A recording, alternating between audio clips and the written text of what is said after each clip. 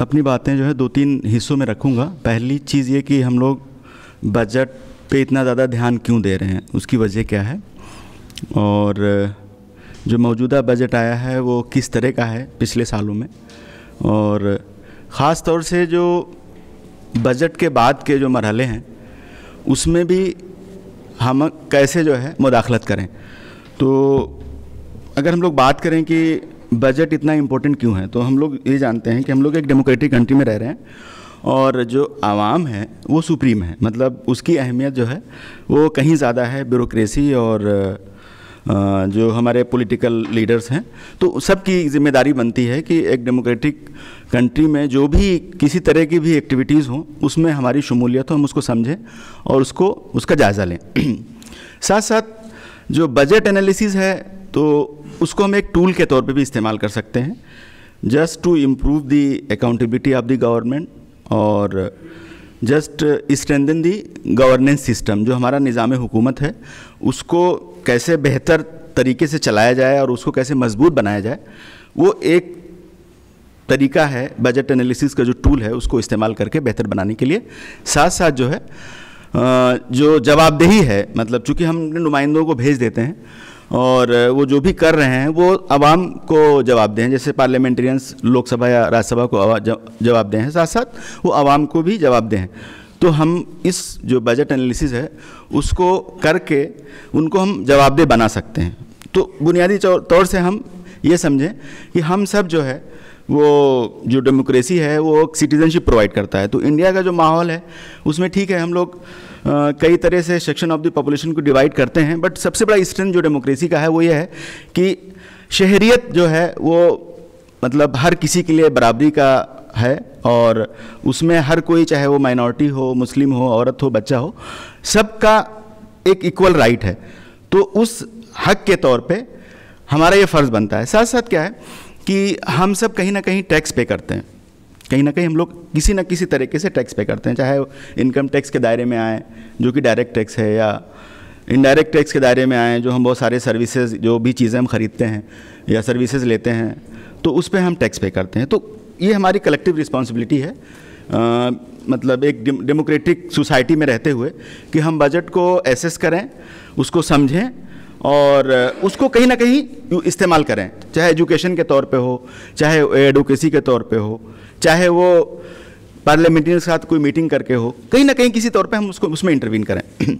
यहाँ से मैं एक चीज़ ये रखूँगा कि जो बजट है, वो बजट सिर्फ़ जो अभी एक तारीख को मतलब पेश हुआ, वो सिर्फ़ उतना ही नहीं है। एक लफ्ज़ है बजटरी साइकिल मतलब ये पूरा एक जो है, मरहला है, जो मतलब बजट का, वो कई हिस्सों से होकर गुजरता है। तो उसको हम अगर थोड़ा और बांटें तो उसको हम ऐसे मान सकते हैं कि बजट फार्मूलेशन एक प्रोसेस है, जिसमें क्या होता है कि बजट की पूरी तैयारी का एक मरहला होता है, जिसमें तमाम तरह के लोग शामिल होते हैं। तो वो फार्मूलेशन फ़ेज़ है। अगर बजट एक तारीख को आया, एक फरवरी को, इस बार थोड़ा एडवांस हो गया, आमतौर से अट्ठाईस को बजट आता था तो उसके पीछे भी जो है गवर्नमेंट ने जो लॉजिक दिया है, ये है कि आमतौर से क्या होता था कि फाइनेंशियल ईयर हमारा जो है, वो अप्रैल से शुरू होता था और वो नेक्स्ट ईयर मार्च तक थर्टी फ़र्स्ट मार्च तक रहता था। इस बार एक साल एडवांस करने का मकसद ये है कि जो बहुत सारे स्क्रूटनी वाले प्रोसेस हैं, वो जल्दी हो जाएँ। और हम लोग पहले क्या करते थे कि ओन एन अकाउंट देते थे। एक्चुअली क्या है कि जो भी गवर्नमेंट मशीनरी है, उसको चलाने के लिए पब्लिक जो रिप्रेजेंटेटिव हैं, लोकसभा के मेंबर्स या जो भी असेंबलीज़ हैं या तो उन सब की जो है रजामंदी ज़रूरी होती है। तो वो आमतौर से क्या होता था कि एक दो महीने के लिए, तीन महीने के लिए ओटा ओटान अकाउंट होता था। इस बार गवर्नमेंट का मकसद ये था कि वो कैसे भी करके ये करें कि जो भी प्रोसेस है वो हमारा थर्टी फ़र्स्ट मार्च तक ख़त्म हो जाए। नेक्स्ट फाइनेंशियल ईयर जब शुरू हो तो उसमें पूरी तरह से पैसा नीचे जाना शुरू हो जाए। तो ये पर्पज़ था, खैर। तो जो मरहला है, ये फॉर्मुलेशन का एक मरहला हो गया। उसके बाद इनेक्टमेंट का एक मरहला हो गया। उसके बाद क्या है कि इम्प्लीमेंटेशन का एक मरहला हो गया। उसके बाद क्या है ऑडिट का एक मरहला हो गया। अच्छा मैं थोड़ा और रिपीट करूँगा फिर से। जो फॉर्मुलेशन का मरहला है ये कि जब एक तारीख को आपका बजट प्रेजेंट हुआ अगले साल के लिए मतलब जो फाइनेंशियल हमारा है, वो अगले साल के लिए है। तो उसका जो पूरा मरहला है, वो शुरू होता है पिछले ही साल। जैसे बजट जो है, वो सत्रह में शुरू हुआ, ठीक है? मतलब ये प्रेजेंट हुआ और उसका फाइनेंशियल ईयर शुरू होगा कब से? अप्रैल से होगा। तो जो फॉर्मुलेशन का प्रोसेस है, उसकी एक अपनी अहमियत है। मतलब जैसे आपका अभी जमा हुए हैं बजट के इनेक्टमेंट प्रेजेंट करने के उसमें। लेकिन जो फॉर्मुलेशन का प्रोसेस है, वो अपने आप में नहायत मतलब अहम है, जो कि हम लोग आमतौर से नहीं कर पाते। Being a civil civil society organization या as a citizen as a शहरी जो है, हम नहीं कर पाते। अगर ये जो बजट बना है और जो प्रेजेंट हुआ है, एक फरवरी को, दरअसल इसका पूरा मरहला जो है, वो जुलाई से शुरू हो गया था, जुलाई अगस्त से शुरू हो गया था। तो इसकी पूरी कनेक्टिविटी है। मतलब वो डिस्ट्रिक्ट से लेकर के स्टेट से लेकर के और फिर जा कर के मरकज़ी सतह पे वो एक साथ कंपाइल होता है। इसलिए कि स्कीम और प्रोग्राम्स होते हैं। तो बजट का पूरा मरहला जो है, वो शुरू हो जाता है अगस्त से और वो फार्मूलेशन का फ़ेज़ है। जब बजट प्रेजेंट हो गया, उसके बाद का जो फ़ेज़ है, वो इनेक्टमेंट का है, जहाँ पे कि जो हमारे अवामी नुमाइंदे हैं उनकी रजामंदी उस पर ज़रूरी है। तो आमतौर से रजामंदी मतलब बजट कट नहीं होता, जो भी डिस्कशन होगा, उसमें कोई बहुत चेंजेस नहीं आने हैं, लेकिन अप्रूवल ज़रूरी है। फिर जैसे मैंने ज़िक्र किया था कि अप्रैल से जो है वो इम्प्लीमेंटेशन का दौर शुरू होगा। जब साल ख़त्म हो जाएगा तो ऑडिट का प्रोसेस होगा, जिसको सी या जो स्टेट लेवल पे एजी ऑफिसर्स हैं वो करती हैं। तो मैं इसको ख़ास तौर से ज़िक्र इसलिए कर रहा था कि हमारे, हम सिविल सोसाइटी ऑर्गेनाइजेशन के तौर पे इंडिविजुअल अपने इंफरादी तौर पे, इन सारे प्रोसेस में शामिल हो सकते हैं। अच्छा अब बात आई फॉर्मुलेशन की जैसे। फॉर्मुलेशन में सिविल सोसाइटी के लिए भी विंडो है। उनके लिए भी जगह है। फॉर्मुलेशन में डिपार्टमेंट और मिनिस्ट्रीज़ अपने बजट बना करके, अपने लेवल पे अलग अलग मिनिस्ट्रीज़ के डायरेक्टर्स फाइनेंस मिनिस्ट्री के साथ डिस्कशन करते हैं कि नेक्स्ट ईयर उनको क्या चाहिए। तो वो एक डिमांड फॉर ग्रांट्स बनता है। लेकिन उस प्रोसेस में जैसे मैं एक ज़िक्र करूँगा कि खुद मिनिस्ट्री जो है वो कंसल्ट करती है, कई सारे उनका एक लफ्ज़ है स्टेक होल्डर्स हालाँकि मतलब बहुत प्रॉपर नहीं है बट वो बोलते हैं स्टेक होल्डर्स तो उसमें जैसे आपके आएँगे सारे स्टेट्स के सारे सूबों के फाइनेंस मिनिस्टर उसमें उनके साथ मिनिस्ट्री कंसल्ट करती है, जो भी ट्रेड बॉडीज़ हैं एसोचैम या चैम्बर ऑफ़ कॉमर्स जो भी है फिक्की इन इनके साथ करती है इकोनॉमिस्ट के साथ करती है वो कंसल्टेशन फार्मर्स ग्रुप के साथ करती है ट्रेड यूनियन के साथ करती है और पिछले चार सालों से उनके पास फॉर्मल विंडो है। आ, मेरे ख्याल से यहाँ कुछ लोगों को वाकफियत होगी इस पर कि वो बुलाते हैं सोशल सेक्टर के नाम पे। तो जहाँ मैं काम करता हूँ ऐसे करीब पंद्रह सोलह ऑर्गेनाइजेशंस को बुलाते हैं कि आप अपना प्रपोजल दीजिए कि इस बजट से आपकी क्या उम्मीदें हैं। साथ साथ जो है, एक लिंक भी जो है मिनिस्ट्री एक्टिवेट करती है और उस पर भी प्रपोजल इनवाइट करती है। तो एक हमारे पास formal window ministry of finance के साथ तो है। बीइंग ए मतलब इनफरादी मतलब इंडिविजुअल एक शहरी के तौर पे और ऑर्गेनाइजेशनली उसके साथ वो इनवाइट भी करते हैं। अब उसका इफेक्टिवनेस अपनी जगह है बट मैं प्रोसेसेस की बात कर रहा था। इनेक्टमेंट में क्या होता है कि एम वगैरह और जो भी हमारा डिमांड फॉर ग्रांट्स बन के जाता है, उस पर डिस्कशन होता है। बट जो पिछले साल का प्रपोजल है, उसको बाकायदा एक डिपार्टमेंटली रिलेटेड स्टैंडिंग कमेटी होती है। वो उस पर स्क्रूटनाइज करती है कि पिछला बजट कितना था, वो खर्च क्यों नहीं हो पाया, वजह क्या थी। बहुत बार वो पूछते हैं कि बेनिफिट्स किसको किसको गया। वहाँ पे हमारे लिए एक विंडो होता है। मैं खुद कई बार ऐसा गया हूँ कि जो डिपार्टमेंटली रिलेटेड कंपनी कमिटीज़ हैं, उनको डिपोजिशन देने के लिए कि नहीं हमारे हमने ये रिसर्च किया और ये हमें गैप्स लग रहे हैं। तो वो फिर क्या होता है रिपोर्ट में डालते हैं। तो एक तरीका ये है।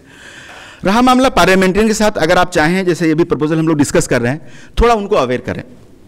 एम को कि आप डिस्कशन में जब आपको जनरल बजट पे डिस्कशन का, मौका मिलेगा जैसे मंडे के बाद अगर जो टाइम होगा या फिर अलग अलग जो डिमांड फॉर ग्रांट्स हैं उस पर डिस्कशन होगा। भले चेंजेस नहीं आएँगे नेक्स्ट ईयर में कुछ आ सकते हैं करंट ईयर में नहीं आएँगे बट इन्फ्लुएंस कर सकते हैं। तो ये इनेक्टमेंट के प्री फ़ेज़ में आप कर सकते हैं। इम्प्लीमेंटेशन का एक जो जो दौर शुरू होता है उसमें अगर हमें पता हो कि पर्टिकुलर स्कीम में कितने खर्चे हैं या पर्टिकुलर डिपार्टमेंट के पास कितने पैसे हैं तो हम उनको जो है स्क्रूटनाइज कर सकते हैं उनको ट्रैक कर सकते हैं। ठीक है?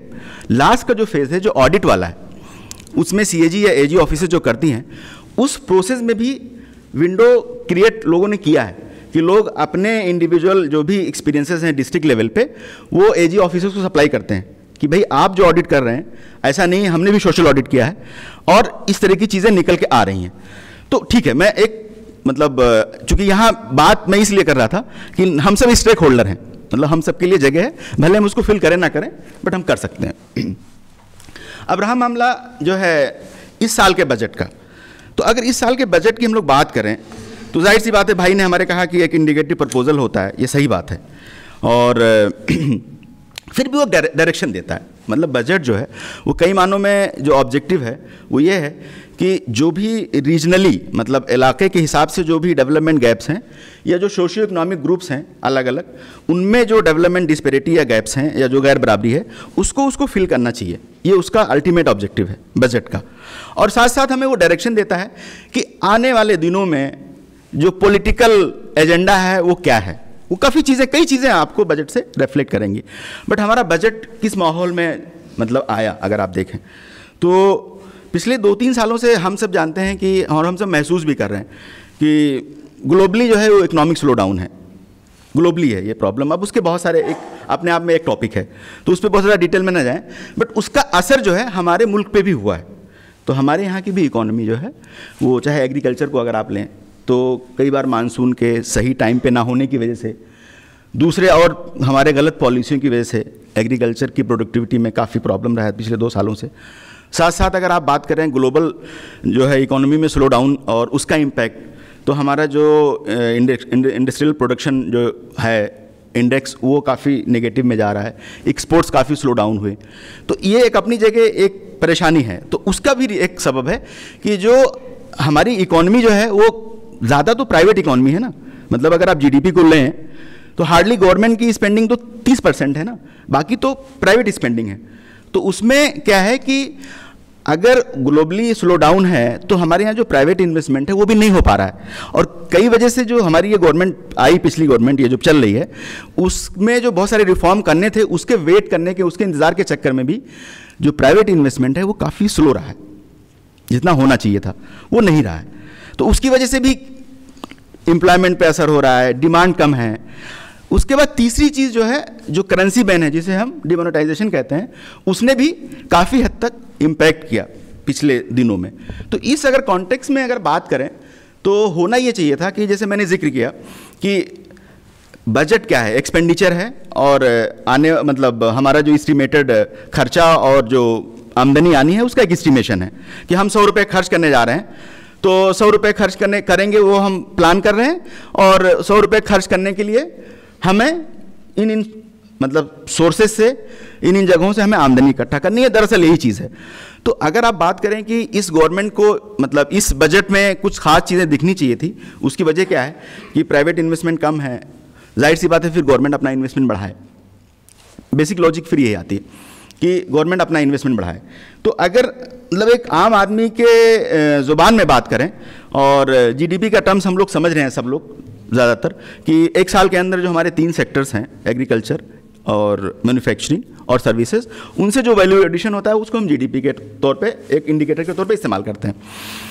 अगर पब्लिक इन्वेस्टमेंट की बात करें तो मैंने कहा कि जस्ट अगर पूरे आप municipal bodies state government central government को ले लें तो तीस पैसा एक रुपए में जो है, अगर आपका एक रुपये जीडीपी है तो तीस पैसा पब्लिक मतलब गवर्नमेंट स्पेंडिंग अब, अगर आप ये कहें कि इतने सारे परेशानियों के बावजूद भी क्या गवर्नमेंट ने अपने खर्चे बढ़ाए?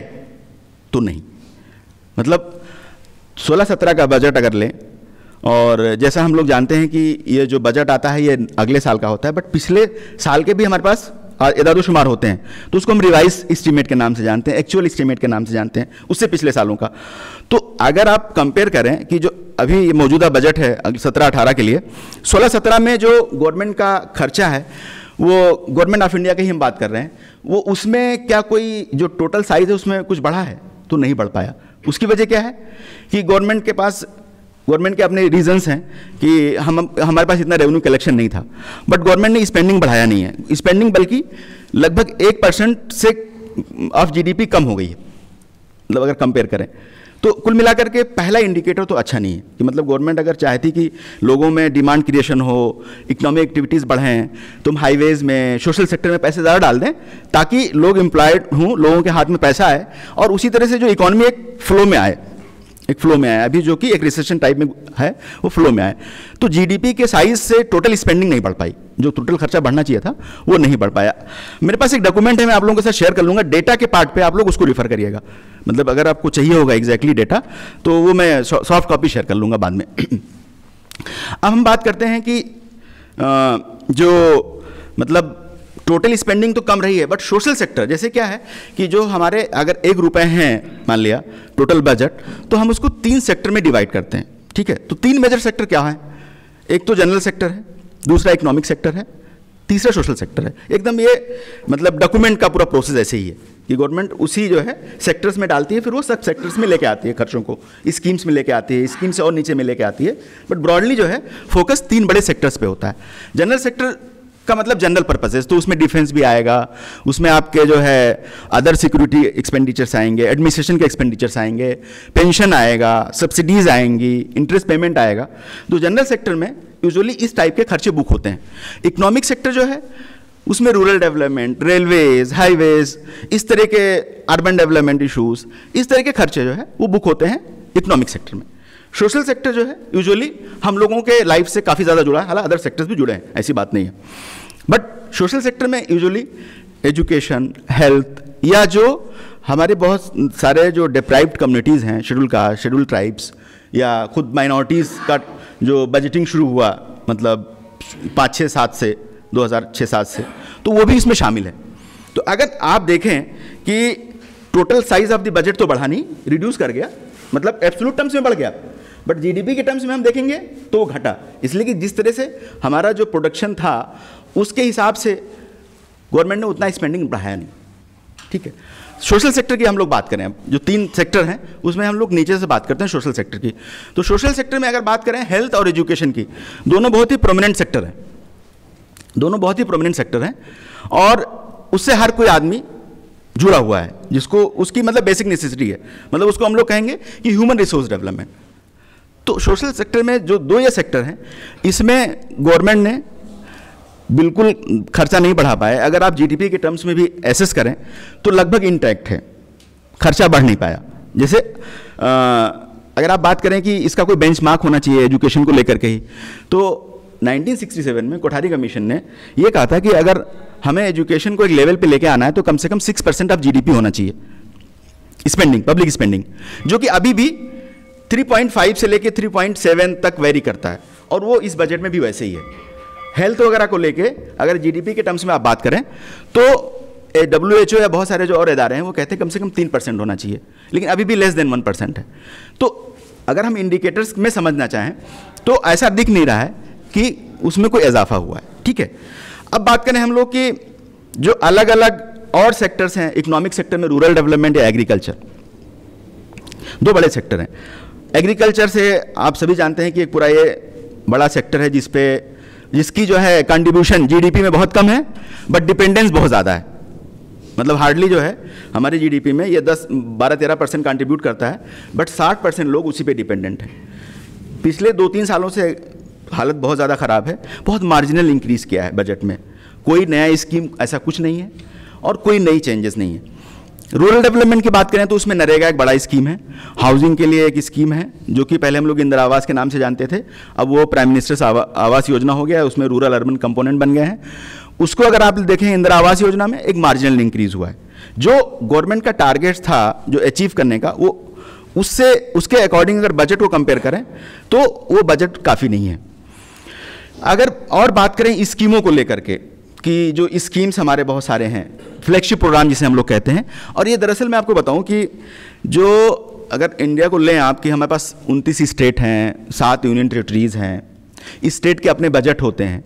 लेकिन काफ़ी हद तक जो स्टेट्स हैं, वो गवर्नमेंट ऑफ़ इंडिया के फ्लैगशिप प्रोग्राम पे ज़्यादा उनका इन्हिसार है। इसलिए कि उनके पास बड़े स्कीम बहुत कम हैं। तो जो हमारे बड़े फ्लैगशिप प्रोग्राम्स हैं, जैसे आप सर्व शिक्षा अभियान ले लीजिए, आप माध्यमिक शिक्षा अभियान ले लीजिए आप मिड डे मील ले लीजिए।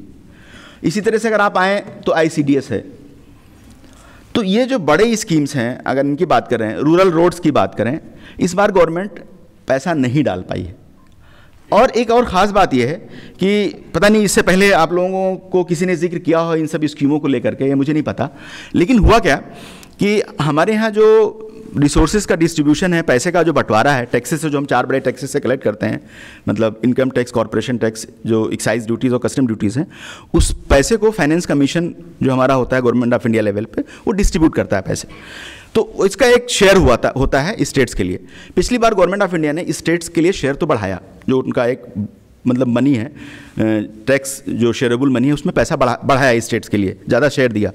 बट क्या किया कि ये सारे फ्लैगशिप प्रोग्राम जिसका मैंने आपसे ज़िक्र किया, जिसमें कि मतलब बहुत सारे अदर कम्युनिटीज़ का भी हिस्सा है अलग अलग जो है स्ट्रेटजीज़ के थ्रू इसमें क्या किया गवर्नमेंट ने कि पैसे काफ़ी कट डाउन कर दिए, और साथ साथ क्या किया कि ये सारे स्कीम जो है, वो गवर्नमेंट ऑफ़ इंडिया और स्टेट के शेयर से चलते हैं।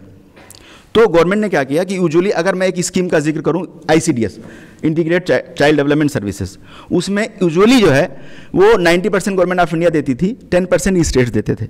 अब क्या हुआ? अब उस चेंजेस के बाद गवर्नमेंट ने क्या किया कि उसको जो है, उन्होंने 60 40 का रेशियो बना दिया। 60 गवर्नमेंट ऑफ़ इंडिया देगी 40 स्टेट्स देंगे।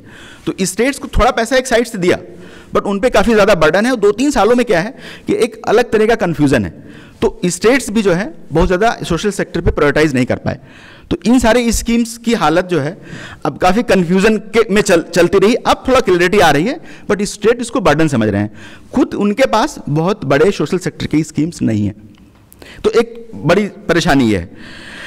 बजट आ जाने के बाद की बात जो है, जैसे मैंने आपसे ज़िक्र किया कि अगर जो ये बजट आया है, ये सत्रह अठारह का बजट इस्टीमेट है। अगर आप देखें पिछले जो है बजट का, जैसे 16-17 का तो जो मिड पॉइंट आता है वो रिवाइज बजट होता है। गवर्नमेंट क्या कर रही है कि यूजुअली बजट इस्टीमेट में तो आपको कुछ इंक्रीमेंटल बजटिंग 10 परसेंट की दिख जाती है बट रिवाइज इस्टीमेट को अगर आप देखें तो काफ़ी कट डाउन कर दिया जाता है और उसकी कोई अकाउंटेबिलिटी नहीं है, कोई पार्लियामेंट्री स्क्रूटनी नहीं है। ये एक सबसे बड़ी परेशानी है, जो मैंने आपसे ज़िक्र किया कि डिपार्टमेंटली रिलेटेड स्टैंडिंग कमेटीज़ होती हैं एम की अलग अलग सब्जेक्ट पे, वो लोग काफ़ी स्क्रूटनाइज करते हैं, अगर आप लोग पढ़ें तो उससे आपको पता चलेगा कि एक इंदिरा आवास स्कीम में गवर्नमेंट ने बारह हज़ार, तेरह हज़ार करोड़ रुपये डाल दिए। उसके बाद जब नेक्स्ट ईयर में पैसा देना हुआ तो वो छः से सात हज़ार रुपये से, करोड़ से ज़्यादा नहीं दे पाए। तो एक सबसे बड़ी परेशानी है। उसके बाद क्या है? कि अब मैं पोस्ट बजट बात करूँगा कि पाँच मिनट और मैं लूँगा। कितना। तो अगर आप पोस्ट बजट बात करें तो एलोकेशन अपनी जगह है यूटिलाइजेशन के अपने बहुत बड़े प्रॉब्लम है। आमतौर से क्या होता है कि इस बजट एनालिसिस में हम लोग इंडिकेटिव तौर पे एलोकेशन वगैरह देख लें कि पिछले साल का और इस साल में क्या डिफरेंस रहा। बट जो यूटिलाइजेशन ना हो पाना, उसके भी अपने एक बहुत बड़े रीजंस हैं। उसके बड़े रीजंस का मैं एक बड़ा एग्जांपल आपको ये दूँगा कि आ, मैं रूरल डेवलपमेंट की बात करूँ या माइनॉरिटीज़ के कोई प्रोग्राम की बात कर लूँ। आप लोग एमएसडीपी जानते होंगे शायद ना? मल्टी सेक्टरल डेवलपमेंट प्रोग्राम आप लोगों ने लगभग काफ़ी लोगों ने सुना है कि ये 2007-8 से लेकर के 11-12 तक चला फिर 12-13 से लेके और इस दो फाइव ईयर प्लान में चल चुका है और फिर ये सत्रह अठारह में भी चल रहा है। ये माइनॉरिटीज़ के लिए एक स्कीम है जहाँ पे माइनॉरिटीज़ मतलब मुस्लिम्स क्रिश्चियंस या जो भी अदर माइनॉरिटीज़ हैं, वो 25 परसेंट वहाँ पर हैं और वहाँ पे आठ इंडिकेटर्स में डेवलपमेंट लेवल उनका कम है। जैसे उनकी लिटरेसी कम है वेमेन मेल फीमेल या वर्क पार्टिसिपेशन मतलब उनका जो काम करने का जो मतलब शमूलियत है वो कम है। या जो बेसिक कम्युनिटीज़ आप पानी ले लें, आप जो टॉयलेट्स ले लें, आप सड़क ले लें, आप और भी बेसिक कम्युनिटीज़ ले लें आठ ही इंडिकेटर्स पे उनका जहाँ पे लो आता है, उनके लिए एमएसडीपी चलाया जा रहा है। अभी फ़िलहाल जो है, वो 710 ब्लॉक में चलाया जा रहा है। उसका बजट आप मिनिस्ट्री से भी ले सकते हैं हमारी बुकलेट से भी देख सकते हैं।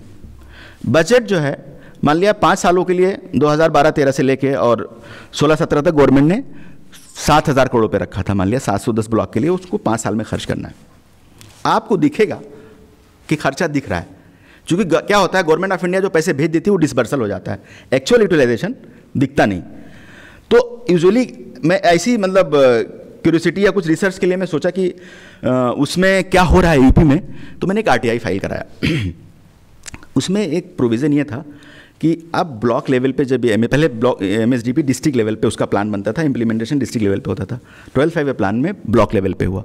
तो उसमें प्रोविज़न ये था कि हर ब्लॉक में बेसलाइन सर्वे होगा कि ज़रूरतें क्या है बुनियादी डिटेल प्रोजेक्ट रिपोर्ट बनेगा, और उसके लिए जो है वो ब्लॉक लेवल फैसिलिटेटर अपॉइंट किए जाएँगे।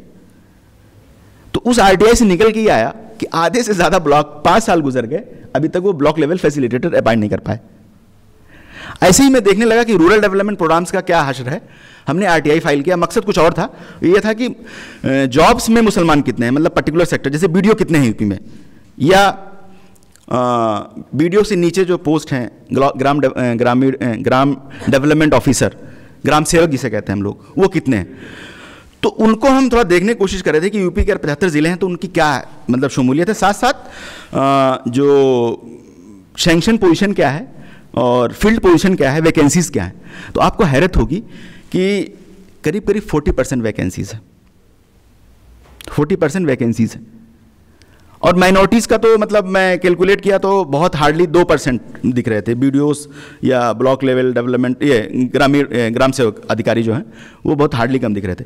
तो मतलब कहने का मकसद ये है कि ये जो पैसा जाता है, ये अपनी जगह है। बट पैसे का जो एब्जॉर्प्शन कैपेसिटी सिस्टम में होना चाहिए, वो नहीं है उस हद तक। तो होता क्या है कि यूटिलाइजेशन क्यों नहीं हो पाते? ठीक से प्लानिंग नहीं होती।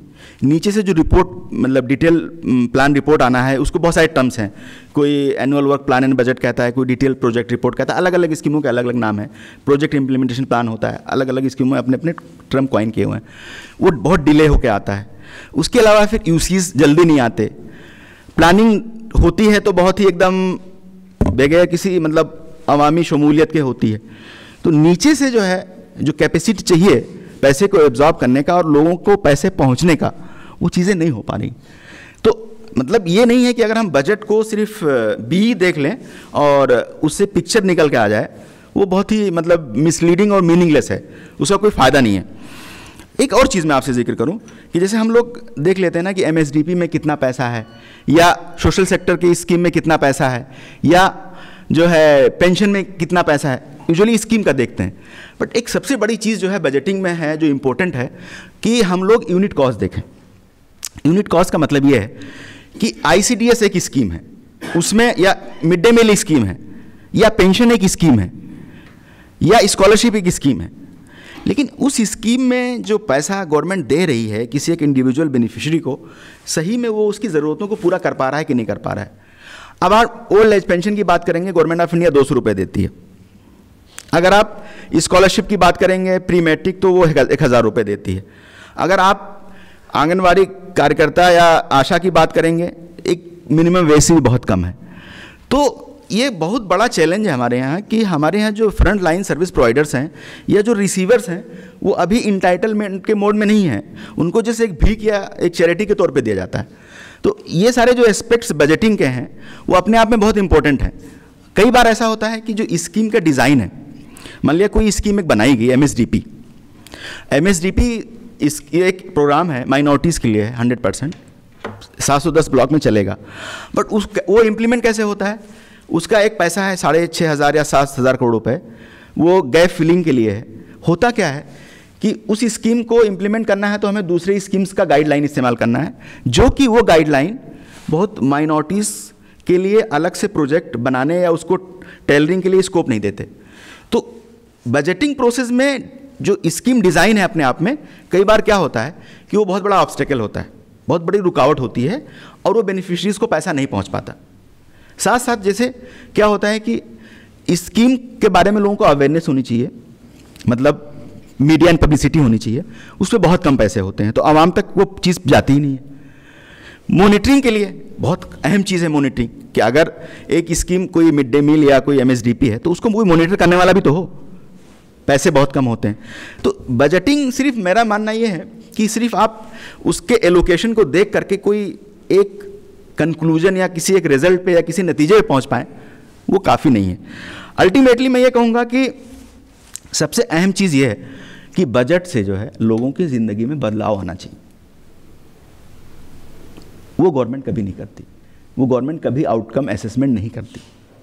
ज़्यादातर नॉन गवर्नमेंटल ऑर्गेनाइजेशन ही करते हैं। वही आउटकम एवोल्यूशन करते हैं कि लोगों की ज़िंदगी में पर्टिकुलर प्रोग्राम या पर्टिकुलर स्कीम से क्या बदलाव आया।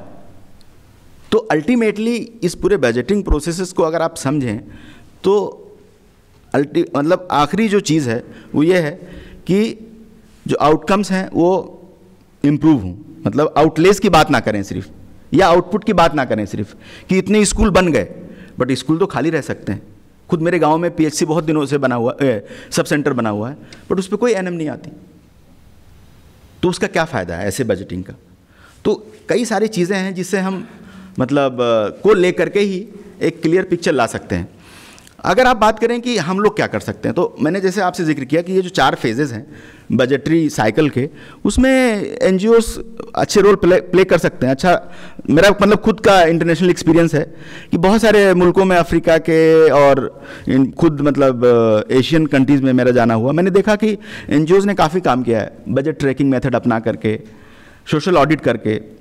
तो मतलब ऐसा नहीं है कि एक जो स्क्रूटनी का बजट का तरीका है वो सिर्फ़ और सिर्फ़ एक फरवरी या अट्ठाईस फरवरी के बाद वो बंद हो जाता है। ऐसा नहीं है। ये एक over the time of period एक पूरा एक प्रोसेस है और उसमें एनजीओ सिविल सोसाइटी इनफरादी तौर पे आ, आप हर कोई शामिल हो करके आरटीआई फ़ाइल करके या दूसरे तरीके से डेटा ले करके उसको एसेस करके काफ़ी चीज़ें कर सकते हैं। तो मैं इसी पे अपनी बात ख़त्म करूँगा। बहुत बहुत शुक्रिया। असल बिस्मिल्लाहिर्रहमानिर्रहीम। बजट कैसे बनता है और बजट के सिलसिले में हम क्या कर सकते हैं? इस मौजू पर आपने बहुत ही आलिमाना गुफ्तु सुनी। जावेद साहब, सिर्फ़ यही नहीं कि उस फ़न से वाकिफ़ हैं, उसमें इन्वॉल्व हैं। जो आदमी इन्वॉल्व होता है, उसकी वाकफियत के लेवल दूसरा होता है। आपने बहुत आलिमाना गुफ्तु सुनी और अमली बातें सुनी। बजट क्या होता है? इस पर कुछ बातें मुझे कहनी थी। अब ज़रूरत नहीं है, जावेद साहब ने खासी गुफ्तु उस पर की। बजट के सिलसिले में सिर्फ़ एक बात दोहराते हैं तौर पर कि बजट जो बनता है, अगर आप देखेंगे जो फिगर को तो पाँच कॉलम्स होते हैं वो। एक कॉलम ये होता है कि जो साल गुजर चुका है, एक साल पहले का, उसकी एक्चुअल फिगर होती है ऑडिटेड फिगर होती है वो। पिछले साल जो बजट प्रपोज किया गया हम बी कहते हैं बजट एस्टिमेट बी की फिगर होती है। पिछले साल पाँच माह गुजरने के बाद फिगर्स को लेकर के मार्च जो साल जारी है उसकी एस्टिमेट तैयार किया उसको आर कहते हैं रिवाइज एस्टिमेट होता है। जो बात अभी आपके सामने आई वो अहम बात है कि जिस वक्त बजट बनता है जैसे अभी एक, एक फरवरी को बना तो हम सबकी तवज्जो का मौजू है क्या है क्या नहीं खासी गुफ्तु हो रही है। लेकिन जब वो रिवाइज होता है तो खामोशी हो जाता है। खामोशी आवाम के लिहाज से उसका अपना प्रोसेस है। हम ना वाकिफ़ होते हैं और ना उससे इन्वॉल्व होते हैं। यानी बना कुछ बना कुछ दिया जाता है। तो रिवाइज एस्टिमेट होता है कि अभी ज़ाहिर सी बात है, साल ख़त्म नहीं हुआ है, फरवरी में है। अगले साल अप्रैल के लिए एस्टिमेट करना है। इस साल क्या हो सकता है, इसका एस्टिमेट करना होगा। तो पिछले साल जो बजट बनाया था, उसको रिवाइज करते हैं। उसके बाद हम लोग, अभी साल पूरा हो जाएगा, अभी ऑडिट होगी, तब एक्चुअल हो जाएगा। तो एक्चुअल बजट रिवाइज ये तीन साइकिल में बजट की फिगर आपको सामने आती है। बजट तैयार होता है दो ब्रॉड हेड्स के तहत। एक को हम रेवेन्यू कहते हैं कैपिटल कहते हैं। मिसाल के तौर पर अगर सड़क को बनाना है तो ये कैपिटल है। इसलिए कि सड़क जो है के बनना नॉन रिकरिंग नेचर का काम है। हमेशा सड़क नहीं बनती, कभी भी बनती है। लेकिन उसकी रिपेयरिंग जो है, वो रेवेन्यू है। रेवेन्यू हमेशा सड़क बन हमेशा रिपेयर काम होता रहेगा। तो ये दो बुनियादी बातें जो मैं आपको बतानी थी। उसके बाद मैं अपने मौजू पर आ जाऊँगा। यानी बजट से मुतल ये दो बातें काम आएँगी, आगे जब हम गुफ्तू कर रहे होंगे तो। इस साल बजट इस लिहाज से तारीखी था कि इसमें तीन बुनियादी ऐसे काम हुए जो पहले नहीं हुए थे। और हर काम जो हुआ, गलत हुआ, हम ये नहीं समझते, बल्कि हम उसकी तारीफ़ ना ज़िक्र करेंगे। उसके में अच्छा पहलू भी शामिल है। एक तो एक रेलवे बजट को मर्ज किया गया। और ये एक 1924 से जारी तरीक़ा था। उस तरीके की मानवीयत बहुत बाकी नहीं रही थी। तकरीबन एक्सपर्ट राय रखते हैं जो हुआ, वो ठीक हुआ। अलबत् आप तस्वीर भी कर सकते हैं। कि रेलवे की बहुत सारी खराबियाँ जो है गुफ्तु का मौजूद नहीं बनती हैं और पब्लिक डोमेन में नहीं आती हैं। लेकिन रेलवे बजट का मर्ज किया जाना एक नया इवेंट इस साल हुआ। उसके अलावा बड़ा नया इवेंट ये भी हुआ कि बजट जो है वो प्री पोन कर लिया पहले बनाया गया एक फरवरी को। ये भी एक लंबे अरसे से अंग्रेज़ों के ज़माने से एक रवायत थी कि फरवरी के आखिरी तारीख को, अट्ठाईस या उनतीस को सुबह ग्यारह बजे बजट पेश होगा।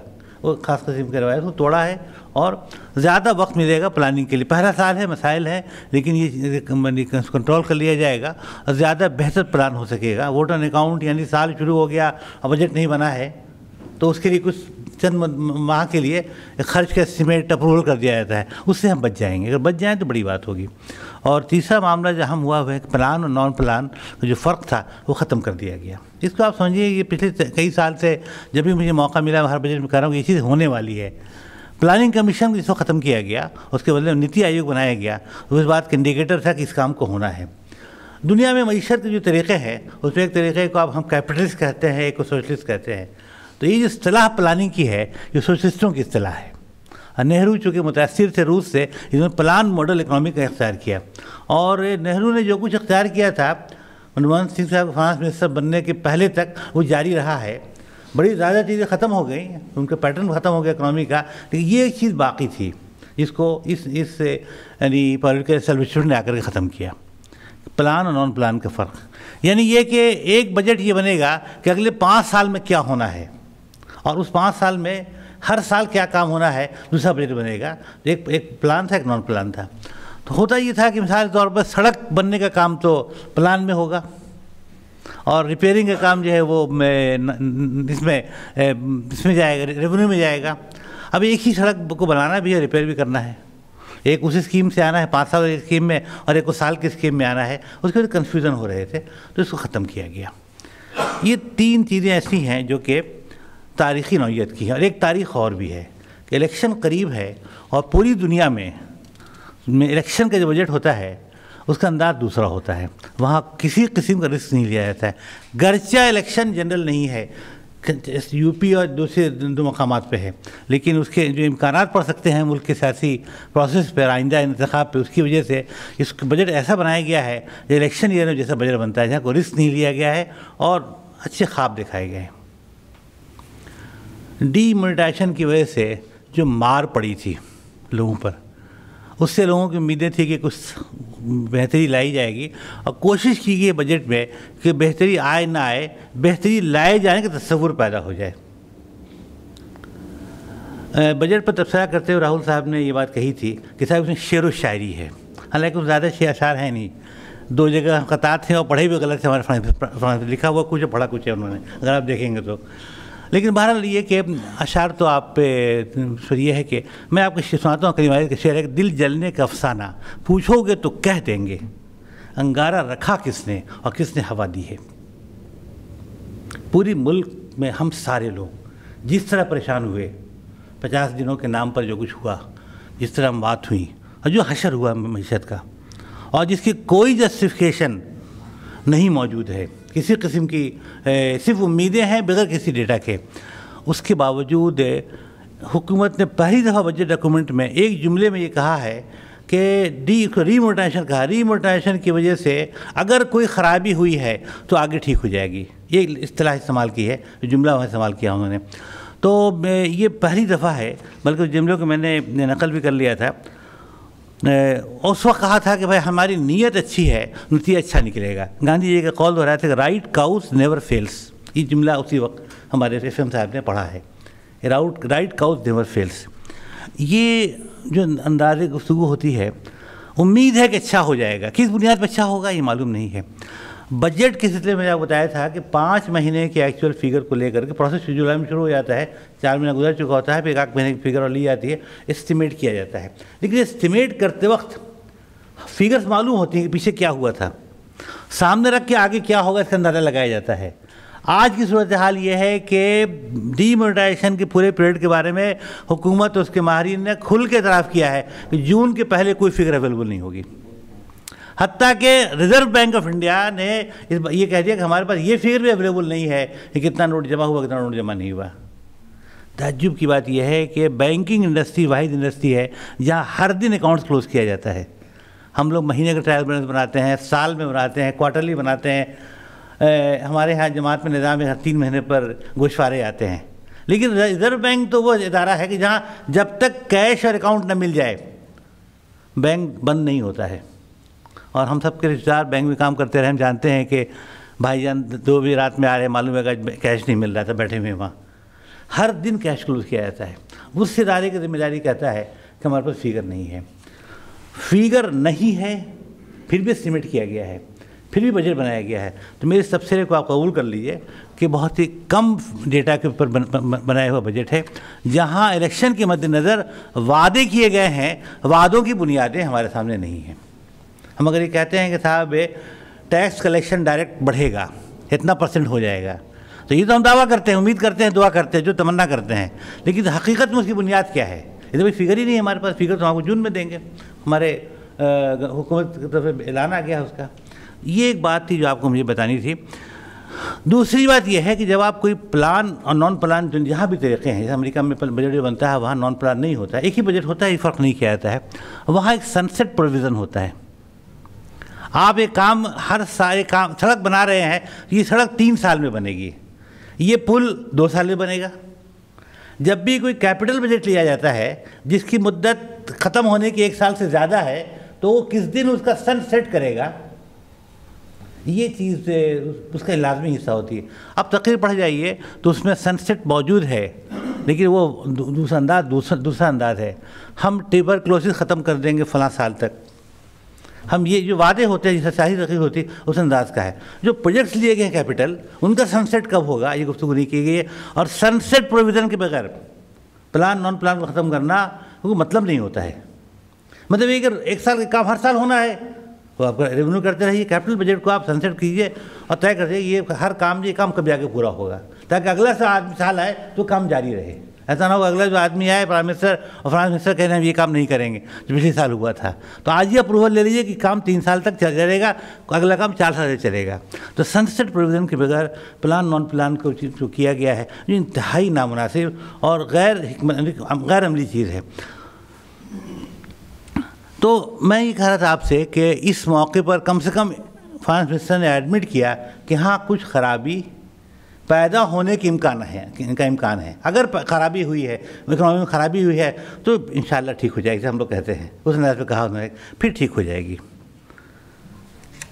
लेकिन इंफ्रास्ट्रक्चर की जो अच्छी बात है बजट की वो ये है कि एम जी नरेगा की जो स्कीम, जो पिछले जारी थी, जिस पर, जिस स्कीम का क्रेडिट पिछली हुकूमत को जाता है कांग्रेस को जाता है और उसकी उसकी क्रेडिट सिलसिले में शुरू का रवैया हमारे प्राइम मिनिस्टर का ये था कि उन्होंने उसके खिलाफ तो गुफ्तु की थी और पिछले एडमिनिस्ट्रेशन के बड़ी नाकामी के तौर पर बताया था। पिछले साल बाजी नाखास्ता कबूल किया, इस साल बाबा उसे कबूल कर लिया और उसका दावा किया कि हमने उसमें इतना ज़्यादा खर्च किया है, ज़्यादा हम बजट दे रहे हैं, यानी उसको अपना लिया। और ये एक अच्छी अलामत है। और आमतौर पर ये होता है कि जब भी पॉलिटिकल सिचुएशन बदलता है तो पिछले जो काम हो रहा होता है, उसके खिलाफ काम करता है। शुरू का रवैया इसी का था, लेकिन गुड सेंस प्रिवेल किया, उन्होंने उसको अख्तियार किया और उसके लोकेशन को बढ़ाया। गर्चे गुफ्तु हो चुकी है एक्सपर्ट्स गुफ्तु कर चुके हैं कि जो लोकेशन बढ़ाया, वो दरअसल लोकेशन नहीं है। पीछे जो खर्च नहीं किया था, उसकी जो लाइबिलिटी कानूनी तौर पे आती है, जो लीगल ऑब्लिगेशन है, उसको देने के लिए सुप्रीम कोर्ट ने मजबूर किया, बाध्य किया, हिंदी में जैसे कहते हैं उसकी वजह से कुछ खर्च बढ़ा है। वो कुछ दी, वो विलिंग विलिंग तरीका नहीं है। बहरहाल, उसको क्लेम भी किया है, और उस पर आगे इरादे भी हैं, उसको आगे ले जाने का। एक दूसरी बात जो आप पे नोट करेंगे बजट में बहुत सारे जुमले, एक छोटे छोटे जुमले होते हैं, लेकिन उसके रिप्रकेशन बहुत ज़्यादा होते हैं। और जुमला यह है कि मैन पावर जो सिस्टम है लेबर सिस्टम में जो लॉज हैं, उसमें तब्दीली का इरादा है। वहाँ तो बड़े अच्छे जुमले हैं, बजट की तकरीर में। साहब उसके अब वर्कर्स के लिए फ़ायदा होगा और उनके लिए सिक्योरिटी होगी। लेकिन जो रिपोर्ट्स आ रही बता रही हैं कि उस सिलसिले में जो वर्कर्स को सपोर्ट हासिल है, ख़त्म करने की बात की है। बात ये की जा रही है कि जहाँ तीन सौ तक वर्कर हैं, वहाँ जिसको चाहे निकाल दें। तो लेबर लॉज में तब्दीली की बात हो रही ये भी एक हर हुकूमतें करती रहती है कैपिटलिस्ट हुकूमत है करेगी। लेकिन जो बात मैं आपको बयान कर रहा हूँ, दिलचस्प सूरत हाल है, जिसको मैं कहता हूँ कि निफाक की इंतहा है ये। डबल टॉक की इंतहा है। हुकूमत इस जो हुकूमत है, उसका एक ट्रेड यूनियन विंग भी है। हिंद मजदूर किसान सभा वगैरह कोई नाम उसका है। बी एम भारत भारत मजदूर संघ जो है। उसने उसकी मुखालफत कर दी है। हुकूमत कर रही है। यानी मतलब अपोजिशन भी मेरा और ये भी मेरा। यही तरीक़ा अख्तियार किया गया था हमारे यहाँ। वाजपेयी साहब के ज़माने में भी और अभी भी इस्तेमाल किया गया था। जब हम मुल्क में एफ़ डी बढ़ा रहे थे, मुल्क में बाहर के इन्वेस्टमेंट शेयर को बढ़ा रहे थे और बाहर के इकनॉमी के साथ यहाँ पढ़ रहे थे तो उसकी मुखालफत में हमने हुकूमत ने या आर एस एस ने इदारा कायम कर लिया था और स्वदेशी जागरण मंच के नाम से। मुखालफत भी वही कर रहे थे और कर भी वही रहे, जो चाहे आपको उसने करिश्मा साथ करे। तो यही सीनरी आप देखेंगे अगले दिनों में। वो लेबर लॉस हिस्से में होगा कि हुकूमत करेगी भी। मुखालफत के लिए स्कोप जो है, वो कांग्रेस पार्टीज़ की लिफ्टिस्ट यूनियन के हाथ में नहीं होगी। वो भी उन्हीं के हाथ में होगा। इसकी इसकी तैयारी की जा रही है। फॉरेन डायरेक्ट इन्वेस्टमेंट के बारे में यह है कि मज़ीद लिबरलाइज करने की बात हो रही है। जो कुछ हो चुका है उससे और ज़्यादा। फिगर्स में नहीं जाऊँगा, इसलिए कि फिगर काफ़ी आ चुकी है। आप देखते भी रहे हैं, पढ़ते भी रहे हैं, सुनते भी रहे होंगे, लेकिन उसूली बातें मैं आपके सामने करना चाहता हूँ। अच्छी बात जो एक हुई है, वो ये भी है हमारे यहाँ एक बहुत बड़ा वर्क फोर्स और समझिए कि मौजूद है पोस्ट ऑफ़िस का। बड़े एम्प्लॉज़ भी हैं, उनके ऑफ़िस भी हैं और हिंदुस्तान में जो पोस्टल डिपार्टमेंट की रीच है, अगर मार्केटिंग टर्म में देखें तो लाजवाब है वो। यानी शेर, शाह, सूरी जमाने शुरू हुआ था ये, तक एक डाकिया गाँव गाँव तक पहुँच जाता है फर्श फर्श से वाकिफ़ होता है। किसी और मार्केटिंग और डोर टू डोर सर्विस वाले उसको सोच नहीं सकते हैं कि हमारे डाकिए कितना एफिशिएंट होते रहे हैं। तो वो जो डिपार्टमेंट है धीरे धीरे डाक का निज़ाम प्राइवेट हैंड में चला गया है। अब हम डाक, हम हमारा पोस्ट ऑफ़िस पोस्ट कार्ड इस्तेमाल भी नहीं करते हैं कुरियर इस्तेमाल करते हैं। तो पूरे मैन पावर का इस्तेमाल करने के लिए बैंकिंग सर्विसेज़ कराने की बात की पिछले हुकूमतों ने। और अभी आप देखेंगे कि उनके head of head post office को पासपोर्ट ऑफ़िस तौर पर इस्तेमाल करने की बात की जा रही है। यानी जो अवेलेबल हमारे पास मैन पावर है रिसोर्सेज है और जो फैसिलिटी है, उसको मुख्तलिफ़ कामों के लिए इस्तेमाल करना, बल्कि पब्लिक डिस्ट्रीब्यूशन सिस्टम के इस्तेमाल करने की बात भी हो रही है। और मैं अपने तौर पर इसे बहुत पॉजिटिव चीज़ समझता हूँ कि आप इतने बड़े मैन वर्क फोर्स को, इतने बड़े असेट को बर्बाद नहीं कर सकते। उसका इस्तेमाल करना चाहिए। और मैं समझता हूँ कि एक प्रूडेंट अप्रोच अच्छा अप्रोच है। इसके अलावा चंद बातें आपके सामने पेश करनी है, बहुत लंबी गुफ्तु नहीं करूँगा, वक्त ज़्यादा नहीं है हमारे पास। वो ये है कि ये जो पब्लिक सेक्टर यूनिट्स हैं उनके डिस इन्वेस्टमेंट के सिलसिले में स्कीम लाई थी कांग्रेस ने। मुखालफत खासी हो रही थी इसमें दूसरी मुखालफत की आवाज़ मौजूद थी। अब हम आदि हो गए, कोई मुखालफत नहीं हो रही है। पिछले दिनों आप में से जो लोग दिलचस्पी रखते हैं शेयर मार्केट में इन्वेस्टमेंट के लिए, उनको मालूम होगा कि ऑयल इंडस्ट्री से मुतल जो कंपनीज़ हैं, उनके शेयर्स बड़ी तादाद में पब्लिक डिस्ट्रीब्यूशन मतलब रीसेल किए गए डिसइन्वेस्ट हुए हैं। और इस बजट में कहा गया है कि रेलवे से मुतल जो कंपनी है आई सिटी वगैरह, उनके शेयर्स के वो यानी स्टॉक एक्सचेंज में डाला जाएगा और उनको भी डिसइन्वेस्ट किया जाएगा। तो खामोशी के साथ, हुकूमत अपना हिस्सा जो है बिज़नेस के यहाँ से निकाल रही है। ये चीज़ अच्छी है, बुरी है, आप सब गुस्सू आप कर सकते हैं, लेकिन बहरहाल ये बात कही जा सकती है कि जैसे किसी के अब्बा ने जायदाद बनाई हो, अब बेटा बेच बेच के खा रहा हो। मतलब मेरा तबसरा मिसाल में शामिल है, नेहरू और सेरा में मुल्क में जो बड़े बड़े काम हुए बड़ी बड़ी इंडस्ट्री कायम की गई, उसमें शुरू के ज़माने में, कांग्रेस के ज़माने में उसमें जो कमज़ोर हैं, उनको अलग कर दो। अब ये हो रहा कि नहीं, जो मज़बूत है, उनका शेयर बेच दो। और गवर्नमेंट का सेक कम से कम किया जाए। ये प्रोसेस जो शुरू हुआ था, ये प्रोसेस खामोशी से जारी है। इस बजट के पहले हम पाँच छः कंपनी के शेयर से, अब बड़ी कंपनीज़ के ऑयल इंडस्ट्रीज़ के जो प्रॉफिट अर्निंग ऑर्गेनाइजेशन है पब्लिक सेक्टर उनको बेचा गया है और ये ऐलान कर दिया गया कि साहब हम यही काम करने जा रहे हैं। रेलवे सिस्टम आई सी वगैरह वगैरह के में दूसरी बात जो इस पर हम कंसर्न के इजहार करते हैं, शायद हमारे अलावा कोई बोलने वाला नहीं है, वो ये है कि कम्युनिटीज़ मार्केट के रीच को बढ़ाया जा रहा है। ये टेक्निकल गुफ्तु हो सकती है, आप समझिए कि कम्युनिटी मार्केट जिस तरह से शेयर मार्केट होता है, वैसी कम्युनिटीज़ भी मार्केटिंग होती है। जहाँ ना ख़रीदना होता, ना बेचना होता है।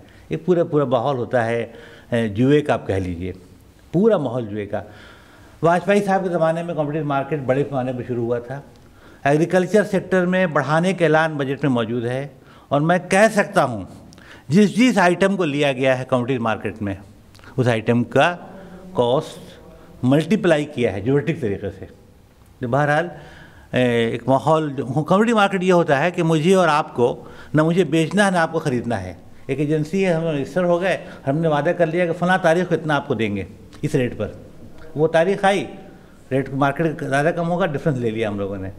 न नीयत बेचने की, न खरीदने की। मार्केट में जाकर रजिस्ट्रेशन हो गया, फला आगे की तारीख में हम आपको पैसा देंगे और लेंगे।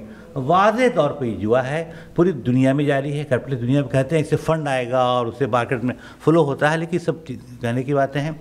मुल्क की मीशत की ख़राब हिस्सा है, जो शुरू हुआ था वाजपेयी एडमिनिस्ट्रेशन में, उसको मज़ीद बढ़ाया जा रहा है। और अफसोस की बात यह है कि एग्रीकल्चर सेक्टर जो हमारा बहुत ही महफूज सेक्टर रहा है, यानी जिस पर हमारे मुल्क की बड़ी आबादी, यानी समझिए डिपेंड करती है, उस सेक्टर में इससे लाया जा रहा है। ये जो चीज़ें हैं, अगर चाहे छोटा सा जुमला है, एक छोटा सा जुमला है, जिसमें बात कही गई है। मैं अकाउंट्स का तालब इल्म हूँ, इसे बता सकता हूँ कि ये जो बजट इस साल पेश हुआ है इस बजट में प्रेजेंटेशन के तरीके को बदला गया, ख़ास तरीके से बदला गया है। मैं पावर पॉइंट से पेश करता रहा हूँ हर साल। इस साल कोशिश की तो मुझे वक्त नहीं मिला उतना जितना ज़्यादा तब्दीली हुई है, मैं उसे हक अदा करता इतने बुनियादी तब्दीलियाँ की गई हैं। और तब्दीलियों के इरादे बहुत ज़्यादा है। सिर्फ़ एक मिसाल मैं ख़त्म करूँगा आपसे। जो लोग जानते हैं, दो तरह के अकाउंटिंग के होते हैं। एक को हम कैश कहते हैं, एक को ट्रेडिंग कहते हैं। तो ट्रेडिंग तरीका ये होता है कि भाई साल ख़त्म हुआ तो कुछ लाइबिलिटी आपकी बाकी है, कुछ खर्च होने वाला है। जैसे आपने प्रोविडेंट फंड जमा नहीं किया, आगे जमा करेंगे आप। तो उसको दिखा देंगे मेरा मेरी लाइबिलिटी है।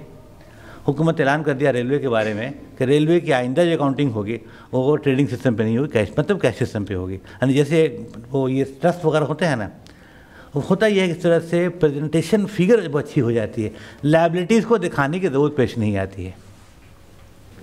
ये मिसाल तौर तो मार्च में आपने काम ले लिया सैलरी तो अप्रैल में पेमेंट करेंगे तो खर्च दिखा देते हैं कि भाई सैलरी पेएबल मार्च में।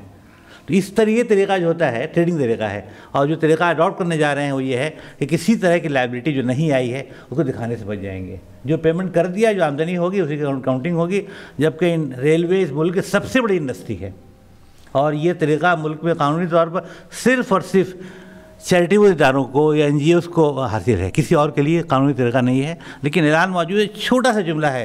पैराग्राफ 180 का सी में एक सेंटेंस भी पूरा नहीं है, हमें बात कह दी गई है।